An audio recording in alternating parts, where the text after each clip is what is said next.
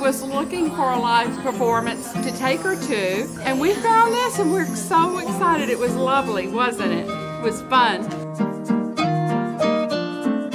You have to come see all the puppets and like how great they are.